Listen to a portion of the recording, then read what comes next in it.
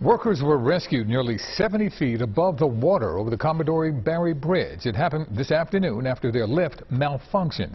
This was the scene as crews rescued the two workers. They became stuck during maintenance and repairs. A spokesperson for the Delaware River Port Authority Police says the lift became disabled and would not lower. Officials got the workers to safety. No one was injured and there was no interruption to traffic.